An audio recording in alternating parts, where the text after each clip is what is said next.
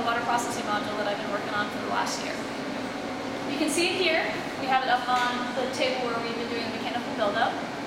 Water processing module uh, is essentially just a water electrolysis system, which we can use for several different ISRU uh, systems.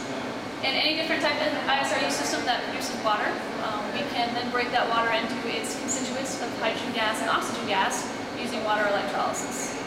The water electrolysis stacks you can see here are central, um, and they don't function just by themselves, unfortunately. They need several ancillary components to work properly, as well as we have to produce gases that are at the right purity standard um, for any downstream customers. So there, because of those two reasons, we have a whole lot of components that are included in the balance of plant for the module.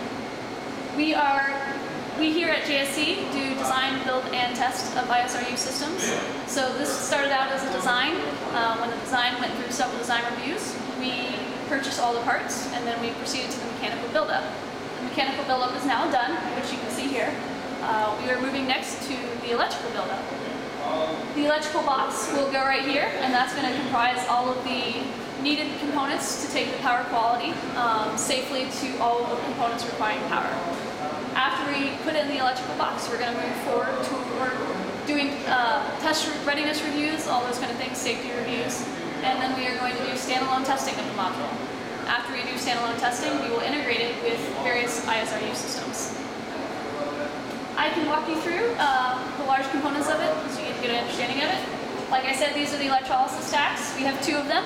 Uh, they are each 12 cell uh, proton exchange membrane, and we're using them in the liquid anode feed configuration rather than cathode feed. We have all of the components needed for the water management system. So we have deionization beds that are used to keep the water quality at what's required for the electrolysis stacks. So the we have to have water that is a certain resistivity so that we're not conducting electricity anywhere else other than right here at the electrolysis stacks. We have flow meters, different instrumentation to make sure that everything's going on the way that it's supposed to go on. Over here we have pumps to move the water at the required uh, flow rate that is needed for the electrolysis stacks, and that's there because we need to have a certain amount of water coverage across the cells. We want to make sure that the cell membranes aren't drying out, uh, things like that. We also incorporated within the water management uh, system for the electrolysis stacks a thermal control system so you can see here in the back, we have heat exchangers, um, and we will eventually be putting heaters on the separator tanks here, which hold the water as well. The electrolysis stacks operate at a, uh, they're the most optimal and most efficient at a certain temperature. So we want to make sure that we can get the water up to that temperature as fast as possible and then maintain that temperature. So that's why those components are there. This system specifically um, was designed to produce propellants. So the oxygen that's going to be produced is going to be using going to oxygen storage, and the hydrogen that's being produced is going to go to a metal hydride storage. So each of those things have a certain specification for purity and sense of water content. So we have two drying sections. This section right here is the hydrogen drying section. Uh, so these are two essential uh, desiccant beds that we're going to use to dry the gas before it goes to its downstream customer. Over here is the oxygen drying section, and it's going to be similar desiccant beds, but it's going to be a regenerable desiccant bed, um, which means at some point we will be regenerating that bed and removing the water vapor that's been absorbed.